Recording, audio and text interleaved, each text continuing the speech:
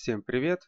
Добро пожаловать на видеокурсе по Twitter Bootstrap 4 и сегодня у нас третье занятие, это компоненты Twitter Bootstrap 4. С вами Илья Краевский, фронтенд девелопер, более чем с двумя годами стажа, более 10 тысяч часов работы с кодом, основатель и директор компании по разработке сайтов, автор образовательных программ, предприниматель и блогер. После урока обязательно посещайте главный сайт itvdn.com, где вы можете еще посмотреть видеокурсы, а также проверяйте свои знания на testprovider.com. Приступим к нашим компонентам. И сегодня мы с вами пройдемся по такому плану.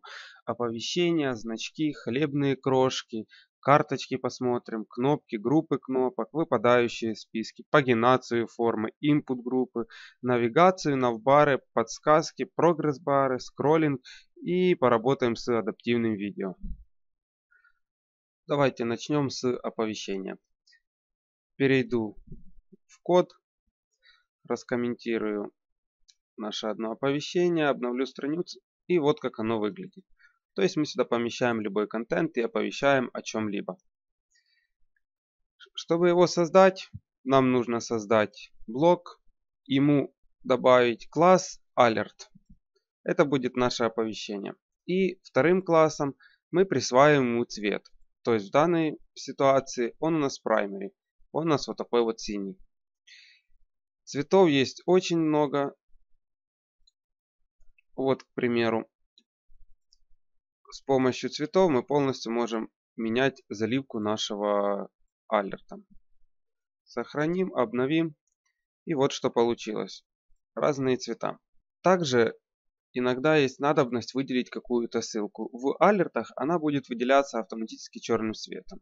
Чтобы выделить нужную ссылку, добавить тег A с классом alertLink.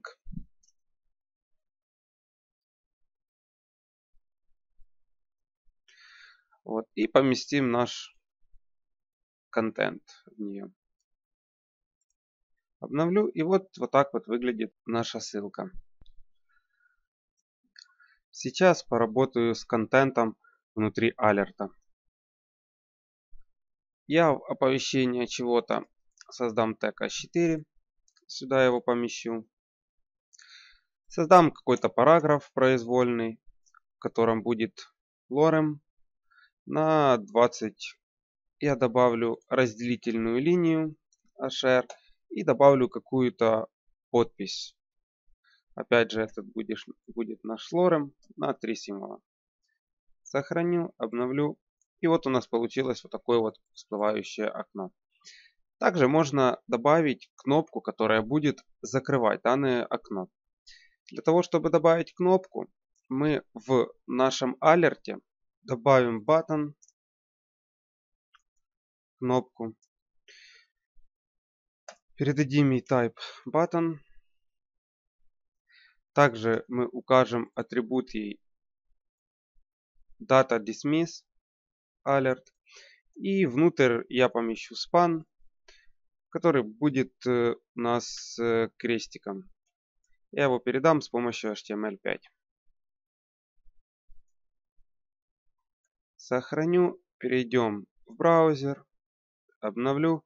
И вот у нас появилась наша кнопка, при нажатии на которую у нас закрывается наше всплывающее окно. Также можно добавить ему анимацию, чтобы она закрывалась более плавно. Для того, чтобы добавить анимацию закрытия, нам нужно добавить класс Fade.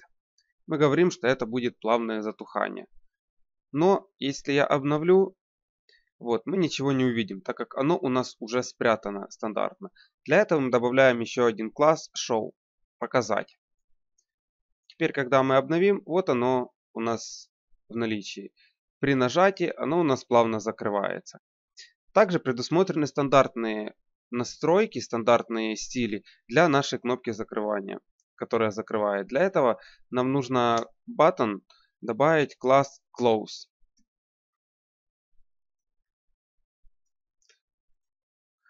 Вот, и она у нас помещается. Как правило, в таких больших блоках не ставятся кнопки. Но если мы эту кнопку переместим в блок поменьше, к примеру, в нижний, то у нас эта кнопка вот, размещена справа.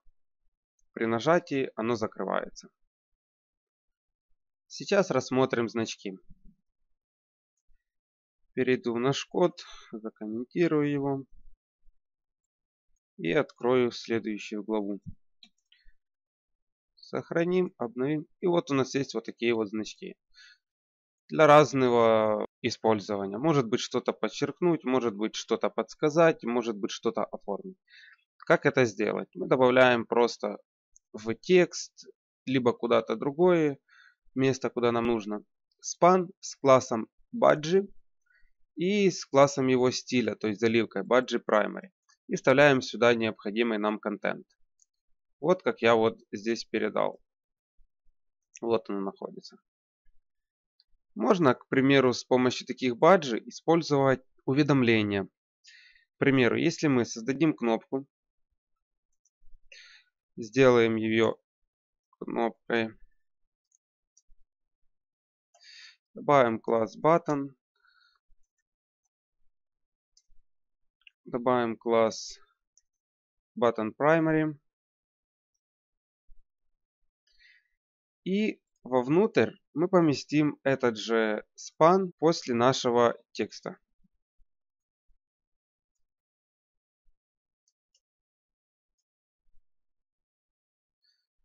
Span я скопирую, это будет быстрее.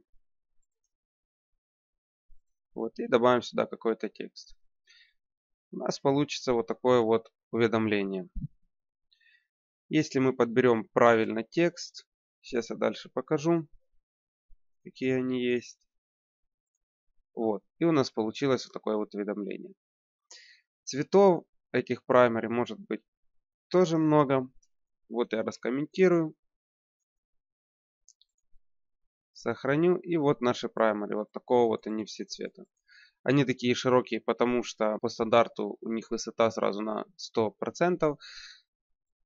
Если я закомментирую нашу кнопку, то они будут под наш шрифт. Также мы можем добавить э, этим баджи скругленные углы. Для этого нам нужно добавить класс Badge Pill. Я первым троим ставлю класс Badge Pill. Вот. И у нас теперь вот такие вот они с круглыми углами. С помощью этих значков мы можем э, выделять как-то наши ссылки. Для этого мы span меняем на А, на тег А на ссылку и добавляем ему атрибут шрифт.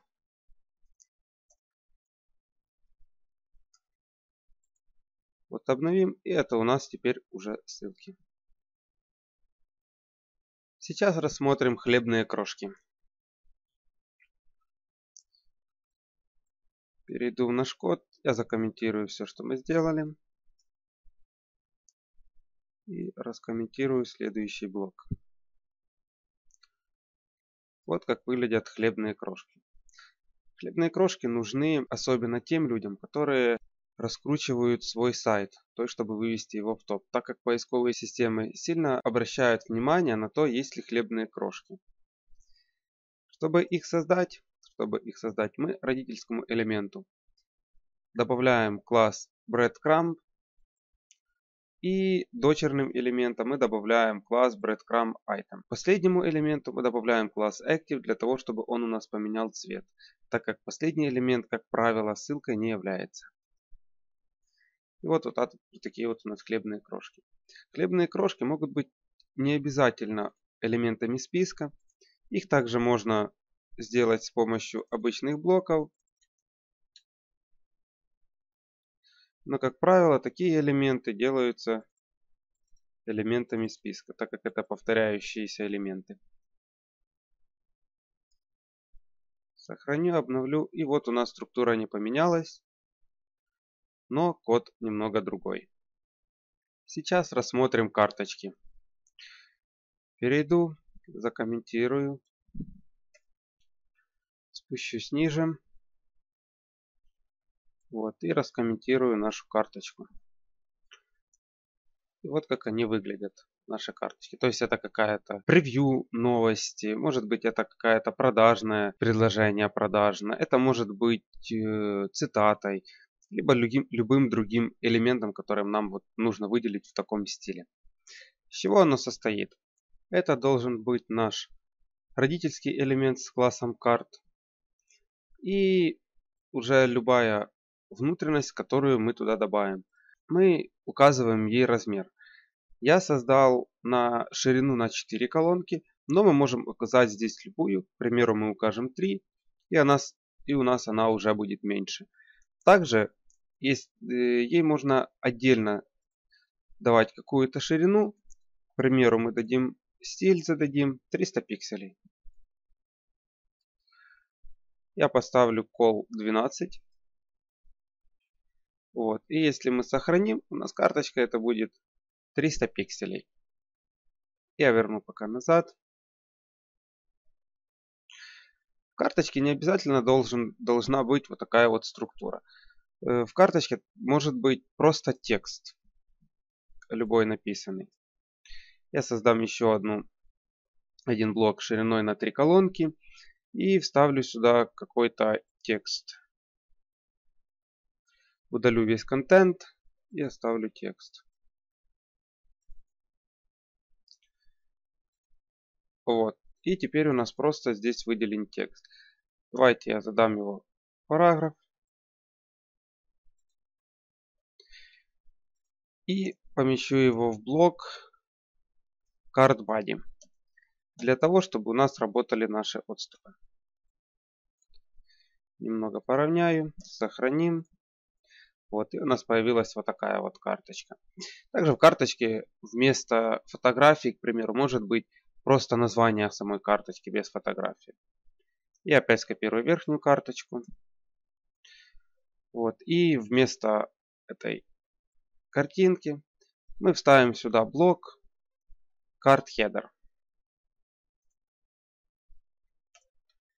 который переместим в наш заголовок H5. Обновим.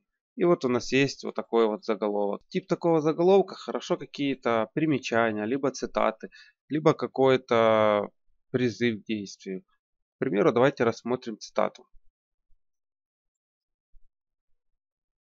Я создам еще одну колонку, только уже она не будет на 3, она будет на 5 шире. Я уберу картинку. Я вставлю сюда наш header. И напишу здесь цитата. Также я изменю наш card. Я добавлю сюда цитату. Мы уже с вами ее выучили.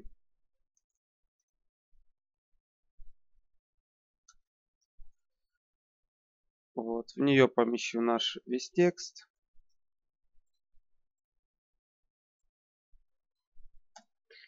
Я создам какой-то футер для этой цитаты.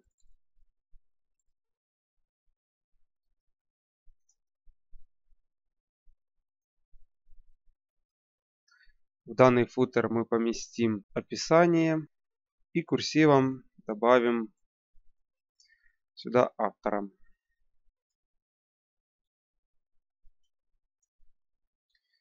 Я уберу имя нашей карточки, оно уже не нужно. И уберу наш карт-текст.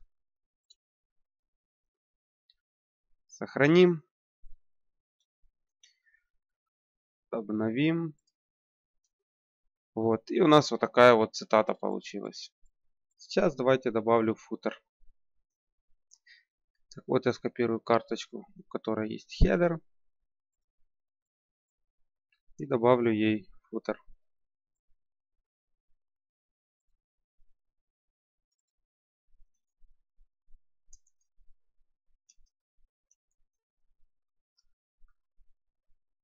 Футер, подвал. Сохраним. И вот теперь у нас у карточки есть вот такой вот футер. С самого начала мы добавляли к body нашему font size. Я его сейчас уберу и поставлю 14, потому что у нас текст не был таким большим и нам больше контента было видно. Вот.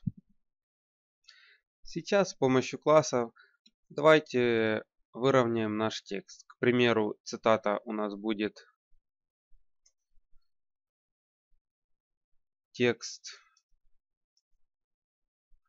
right. То есть у нас текст будет справа. И последняя карточка у нас текст будет по центру. Вот, теперь у нас текст справа, а здесь текст по центру. Это с помощью класса мы можем также добавлять выравнивание текста. Давайте справа вот тут вот создадим еще одну карточку. Там, где картинка у нас будет снизу, а текст будет сверху. Я скопирую самую первую карточку и вставим ее перед цитатой. Вот. Для этого мы меняем картинку с нашим body местами и прописываем, э, меняем класс картинки card image bottom. Сохраним, обновлю. Вот.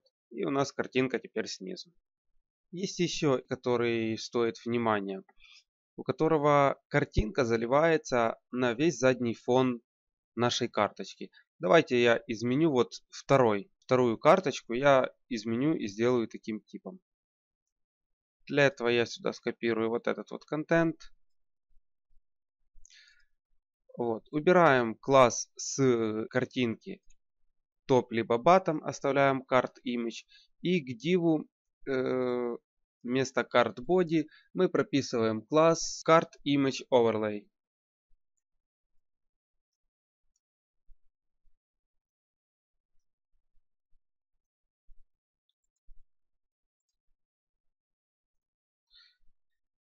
Сохраним. Я сразу же поменяю картинки. У нас там их пару штук. Вот, чтобы разнообразить как-то.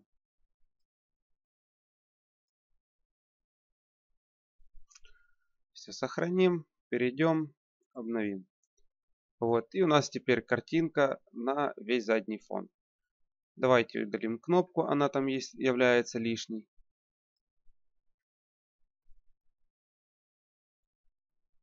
Вот. И у нас теперь вот такой вот текст. И я к нашему родительскому элементу еще добавлю класс TextY.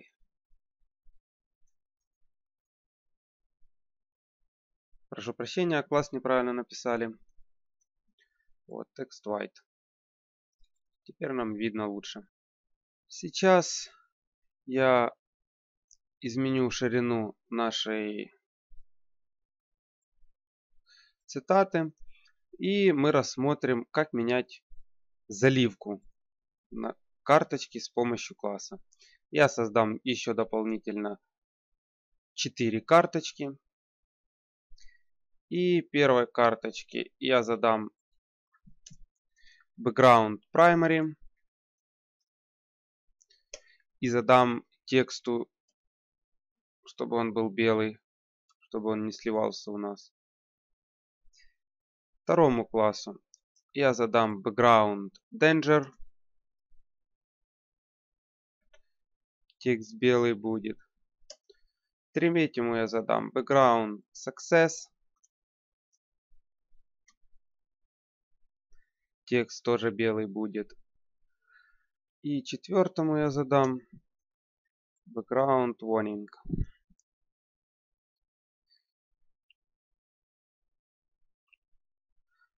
Вот, сохраним, обновим. И вот у нас еще появились вот такие вот карточки разных бэкграундов. Также мы можем менять им э, бордеры. То есть у нас карточка будет любым цветом. Так же самое мы можем менять бордер любым цветом с помощью класса. Ну а продолжение урока смотрите по ссылке на экране или в описании к этому видео. Специально для вас мы подготовили приятный бонус. Воспользуйтесь промокодом, который видите на экране и получите скидку 15% на все курсы ITVDN.